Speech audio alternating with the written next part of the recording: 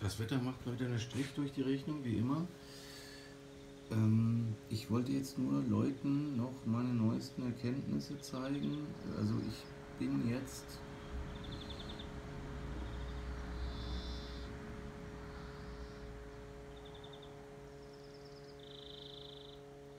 eine Pitch Curve,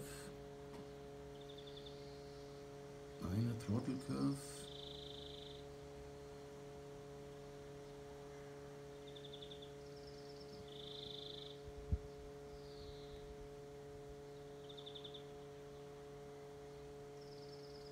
Gyro Settings.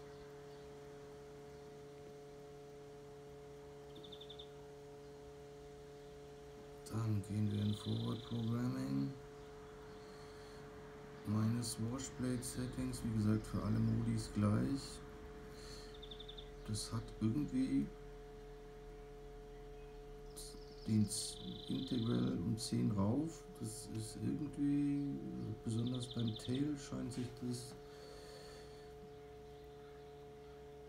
noch ein bisschen stabiler zu wirken bei Collective-Zugabe. Irgendwie ist das Tail dann, gibt es gar keine Ausbrüche mehr, ne? Also hinten. Das bleibt echt gut stabil. Das hat was gebracht. Also das ist jetzt so meine, was ich alles ausgetestet habe. Ich teste das ja alles, wie gesagt. Setup, da kommen wir ganz zum ganz kritischen Thema Gain.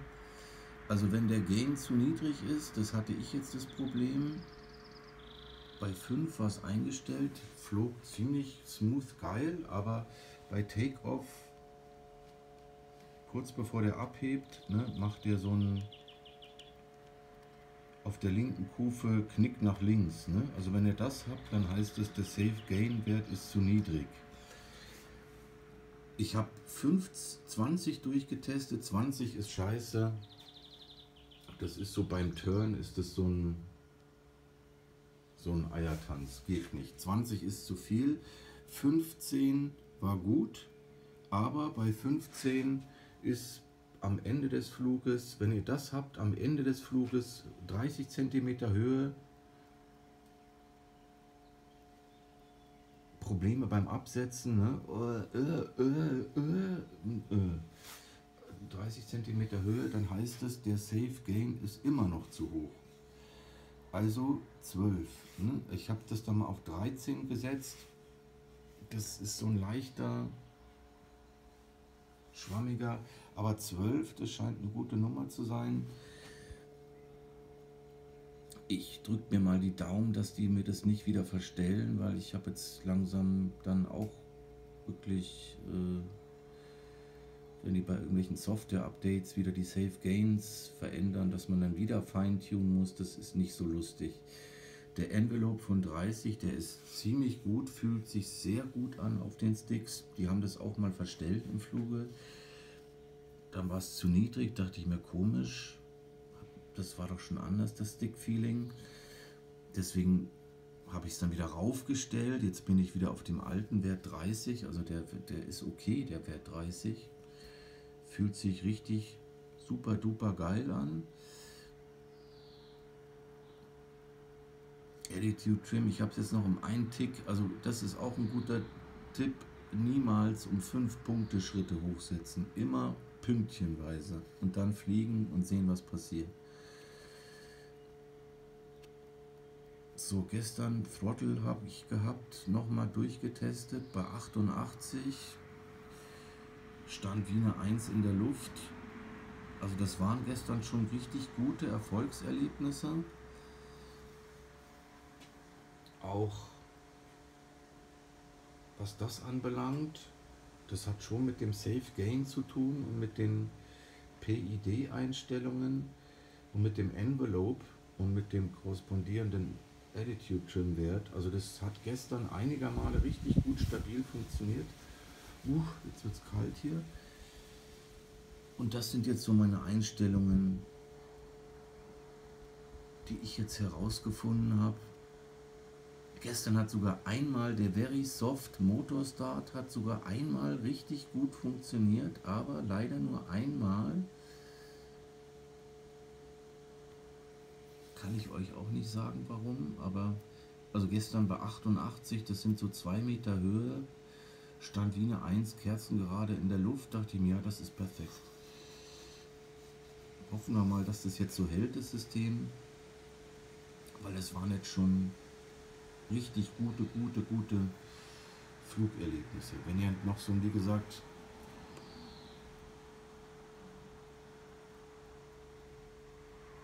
wenn ihr mal den optimalen Stability Safe Gain Wert gefunden habt, durchfliegen, durchfliegen, durchfliegen und dann den Attitude Trim pünktchenweise noch aufsetzen. Ne? Also wenn ich im Collective so einen leichten Linksdrift habe, dann versucht es mal mit einem Pünktchen. Ich habe das mal probiert, nur den Roll ein Pünktchen hochgesetzt. Dann flog der Helikopter aber etwas Pitch nach rückwärts das war dann so ein bisschen, deswegen ändere ich jetzt mal die Werte immer gleich. Pünktchenweise Roll und Pitch rauf, mal sehen was passiert. Damit hier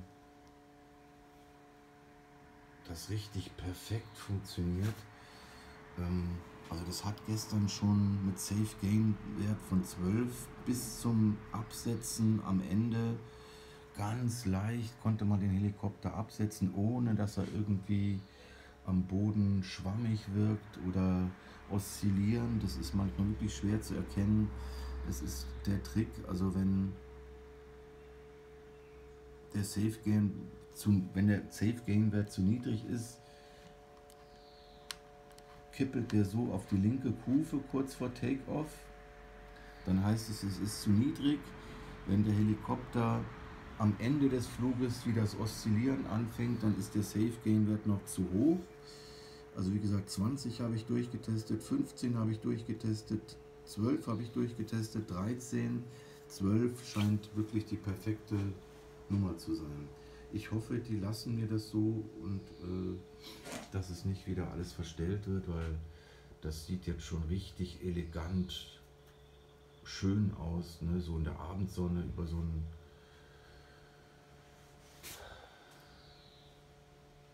hohes Gras zu driften, zu curven, also nicht driften, curven. Die Drifts wollte ich alle raushaben. Und wenn das dann schon richtig gut stabil funktioniert, dann ist das schon richtig schönes. Der Porsche der Lüfte finde ich immer noch der Porsche der Lüfte. Ein MD 500, so vom Design her. Drückt mir mal die Daumen, dass das jetzt hält. Ne? Also ich muss das noch ein paar Akkulagerungen durchtesten. Das waren jetzt so meine letzten Erfahrungen. Wenn jetzt noch der Very Soft Motorstart wirklich schön funktioniert, dann sind wir eigentlich fast durch.